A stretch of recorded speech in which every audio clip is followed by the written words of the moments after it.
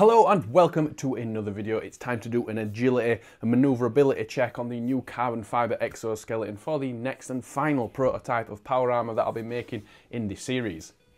We're going to jump straight into that test and then afterwards I'll do a little bit of a review, going over the things that I need to change and what's happening moving forward. One thing to note here is this is literally the first time I've actually had the full thing on and moved around in it outside of my kitchen. So this is also kind of a first impression for me. With that being said, please like and subscribe and it's time to change location. And we have also changed attire. The reason for the desert camouflage is that I need something that contrasts with the carbon fiber exoskeleton as any other color basically blends in unless it's white or a yellowy color. Now, I didn't want to buy a white Chavs tracksuit purely for this video and a friend had some desert DPMs that I could borrow, so I went for these instead. So it's time to put it on as a suit. So we'll be putting on the legs first and then onto the torso afterwards and we'll see how long it takes. While I'm putting the exoskeleton on, I'll go over some points to note. Number one being that the vast majority, pretty much all of this is now carbon fibre and the things that aren't carbon fibre are actually carbon fibre PLA filament with the odd little bit of metal where it was needed. Thus making this exoskeleton very light. Unfortunately, my weighing scales died, so I wasn't able to find out exactly how much they weigh, but I estimate they weigh about 5 kilos. 2 kilos of that is probably in the boots, which you'll understand why later on. There's probably a kilo in the spine due to the use of metal there, and probably half a kilo in the bearings for the mock-up actuators, leaving approximately 1.5 kilos for the carbon fibre itself. The exoskeleton is in three pieces to make it easier to put on and easier to transport, so put the legs on first and then go and put the top half on.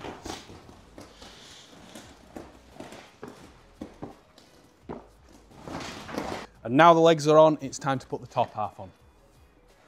Now, the legs are derived from some knee braces that I made quite a while ago, so I've well got uh, the hang of getting those on. However, as you can see here, the top half, I've not got the hang of this yet. So however long this takes, I'm sure I'll be able to get this down as time goes on. But the process for putting the top half on is to put the belt on first, as you can see, and then put your arms into the sleeves and then attach these straps onto the upper arms that then hold the arms in nicely. The total time on this attempt was about seven minutes to get it on, but I am confident once I get used to it, I'll be able to get that down to about two minutes. And that is the skeleton fully on. So we'll zoom out and take a look. And as far as I can tell, it is contrasting nicely. So we've got the legs, you can see them pretty good with the Desert DPMs. I've got good movement for stepping up and good movement for stepping down. You've got pretty good movement all around in the directions you need to do.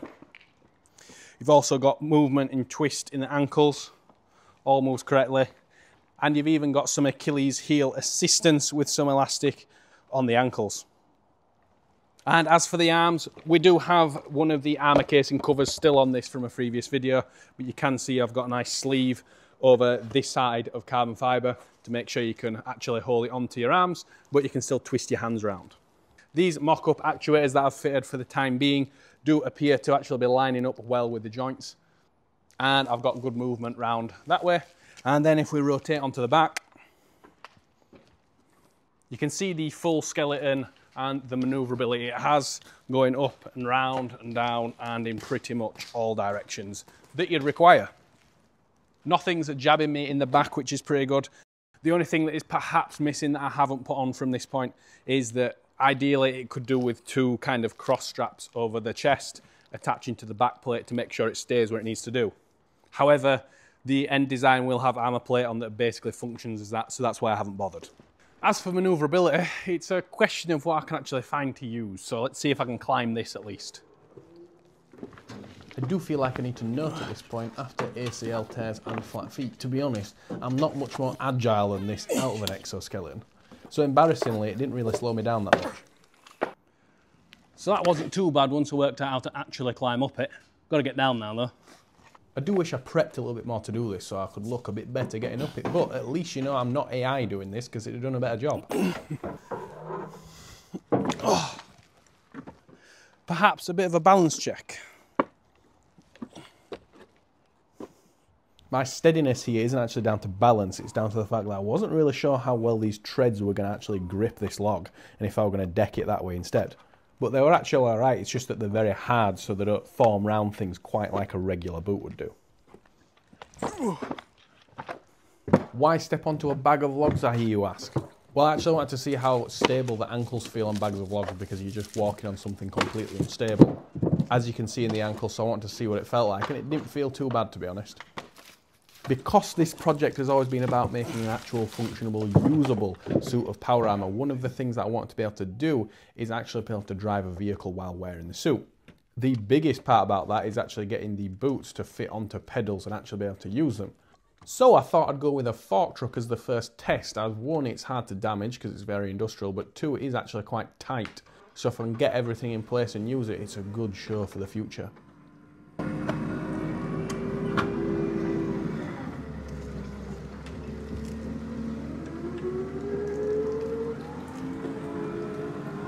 Apart from harshness of braking, it's not bad.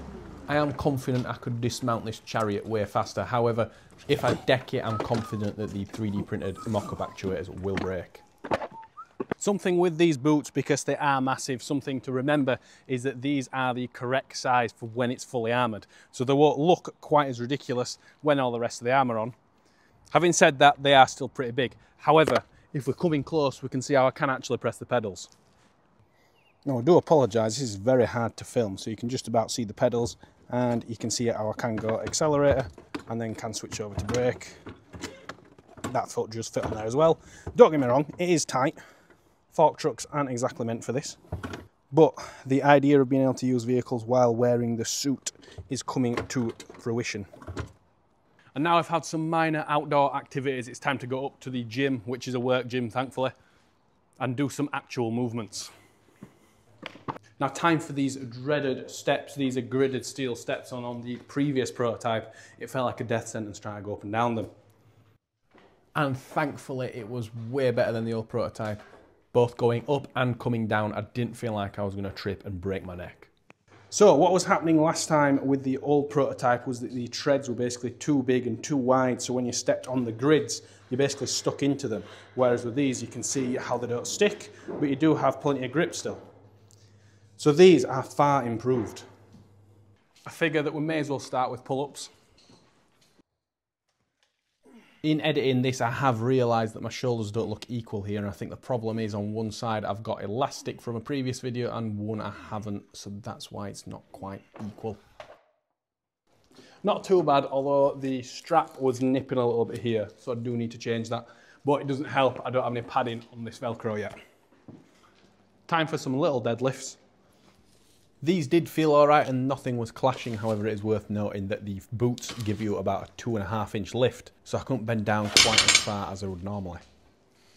Then time for a little overhead dumbbell press. Now nothing was catching, however I didn't really warm up and I think I overcooked it on the size of the dumbbell I picked. Press ups was all good as well. My main concern on why I wanted to do press ups was just to make sure none of the elbow joints were actually nipping the forearm skin as you go down and go up. But I've spaced it out correctly on the actuators, so time for some leg mobility. Sometimes I feel like the hip position doesn't look right, but every time I moved around in it, it felt great. It never felt like it was getting stuck or incorrectly lined up. Although, yeah, the boots are pretty loud.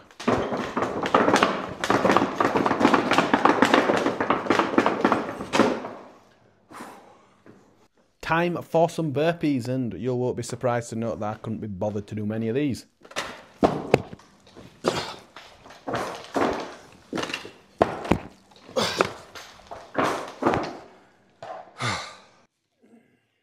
And lastly, I thought I'd just do a little bit of pull down so you can see the full rotation of the arms. And then on the way out, you can see going down the stairs how the ankle pieces don't clash with the stairs themselves which is an issue I had on the old prototype. Something that regular viewers will know is I'm always keen to make sure this will fit through doorways and this being a kind of standard industrial interior doorway, you can see that I've got plenty of room here. So as long as the armour doesn't really extend further out than the actuators, I should be all right for actually getting through doorways. It's not much different to normal, which is a good success. Now, believe it or not, I actually almost forgot to actually try break into a jog, do a bit of a run. So it's getting dark, but We'll have a go. Well, it doesn't feel terrible, but you can tell the boots are massive, and they do still feel slightly loose, even though they actually are quite a tight fit. So that's something we'll be looking at in a moment. With that said, time to go back to the studio. And we are back in the kitchen because frankly this is the best place I've got for lighting. And as the last clip in there was of me running, you can see how the boots are pretty big. We're gonna start there and go over and review them first. Overall, when it comes to the boots, I'm very pleased with them really. They were a million times better than the boots on the old prototype. And crucially, it didn't feel like a death sentence trying to get up and down steps. They are a little bit hard to work out of what I can improve and what I can't because these boots are the full size that they'll be when all of the armour is actually mounted to the suit. So while they look oversized now, they're probably not in the future.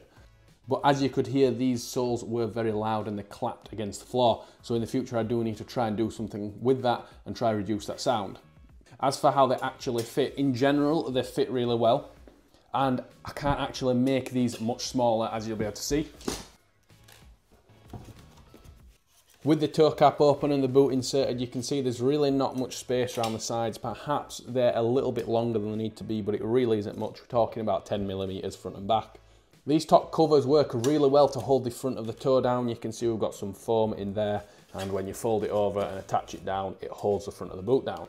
The thing that I realized when I was trying to run was you are getting lift in the heel. It's only like 10 millimeters, but that's stopping you physically from running as good as you could do.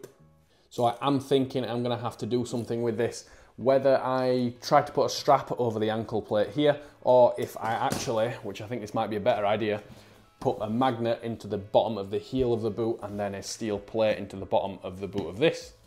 That way they essentially act as mag boots and they help to keep the heel down in the boot, which should improve your ability to run. But I'm not 100% sure about that because I did want to be able to just use regular boots with this and not have to have any custom footwear. The ankle mobility overall was great, it all moved really well. Something that was pointed out by someone in the comments on the previous video is that this bracket here could really do with being curved and more matching onto the angle of this lower bracket so you have less of a spacer because then that reduces the chance of the axle bending in a motion like that. And he's entirely correct. It's not something I could do at the time because I didn't know exactly where this curve needed to be and at what angle it needed to be to make sure it didn't clash with anything. But that's something I'll be able to sort out soon. And then moving up to the legs, these felt great in general. The only problem I did have with them is I haven't lined them out in foam yet. Regular viewers will know that I am replacing these soon as the finish is frankly appalling. These were made out of 3D printed molds that didn't quite go to plan. I've only done a couple of 3D printed molds before. Normally in the past, I've made carbon fibre with handmade moulds, which have typically come out way better. This being a piece that fits onto the knee braces I made quite a while ago. You can see it's got a good shine and it's actually of decent quality. Much better quality than what I've got here. So that is the quality that's to be expected in the future. And now onto the hips, which hopefully you can just about see it here. Now the eagle-eyed viewers may have realized that there was something missing towards the end of that video, and it was one of the hip pieces, which I have here. Now the thing is these were something that I couldn't properly finish fully in carbon fibre and really make strong because I wasn't sure if the curve was going to be correct and I wasn't sure if the holes down the tubes were going to be correct or they were even going to be wide enough. Turns out they were nearly perfect and overall they fit very well, felt pretty good. All of the alignment really felt good as well, like it was all in the correct place. The only thing that happened apart from this breaking off as expected was that I found out that this rod that sits into this tube on the end. Wasn't quite long enough really. I think this needs to be out of another three or four inches long. There were certain positions where my leg would be at such an angle where this wasn't long enough and it would pop out of this tube. Which if you haven't seen the hip and pelvis video, the way this attaches is literally, it just slots into that as you put on the different parts of the suit.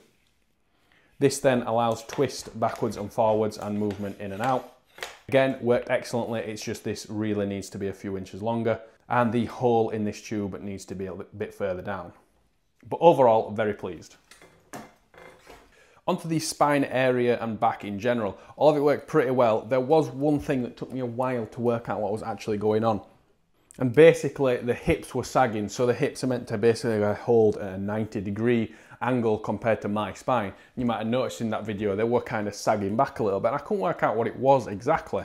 But then as I was looking in the gym mirror, I realized that as I was bending over, I wasn't really bending my back at all. I was just bending at the hips, which meant that all of the movement that exists in the spine for actually arching your back over was just causing the hips to sag and causing the lower part of the spine to sag.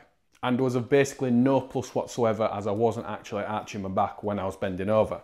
So while the twist side to side was great and the leaning over was also great, the arching of the back back and forwards was actually making things worse. So I'm gonna make a bracket 3D print to start with and I'll make it out of something else later that basically takes the leaning motion out of this bracket but still allows you to rotate side to side and lean over left and right. As for the arms, they work great in general, not much to be improved on really apart from actually putting some padding on the strapping. I'm going to remake these little aluminium hook brackets which are for the strapping. I actually don't think they need to be made out of aluminium. I think if I beef them up a little bit and just make them out of PETG and 3D print them, they'll be better. I also want a little bit of a spacer off of the carbon fibre anyway to make it easier to actually put the straps on, which is much easier to do when you're doing a 3D print. The hinges, while looking primitive, all work great. Could do with getting some perhaps nicer looking hinges. Other than that, they did actually function very well, as I hope you could see. The sleeve with a Velcro strap also worked really well for securing onto the forearm while still allowing you to rotate your wrist round. So that worked great as well. So what's next? Well, really is to attach the armor casings that have been featured in previous videos and see what the mobility is like when the armor casing's on. These are just blank armor casings, not loaded with a composite armor yet, which if we scoot onto the left arm, we'll be able to see. This is the forearm armor casing with the fist extension from a previous video. The fist extension is going to be made out of carbon fiber, but you can see how the armor casing will fit on. We've got an upper forearm piece that I've printed out here, so you can roughly see how that fits as well. You can see how this will reduce mobility a little bit, so I just need to check and make sure that they're not clashing too much, which I don't think they will. I also need to do this to see if I can shrink down any of the pieces like this shin piece. As you can see, it's quite big. I actually think it is about the right size, but if I can just take off 15 millimeters from the center and narrow it up a bit, that'll be a massive weight saving and make it much easier to maneuver in. I'll be printing the rest of these pieces out over the next week or two. And then it'll be time to do some armor testing. I'll also be working on my own actuators in the background still, which hopefully I'll have a video for soon. So there may be a couple of weeks delay on videos on this project. However, I am also planning on making a robot and a robot hand should be next week's video. So I think that just about covers everything. So thank you very much for watching. I hope to see you on the next video. And last of all, have a great week.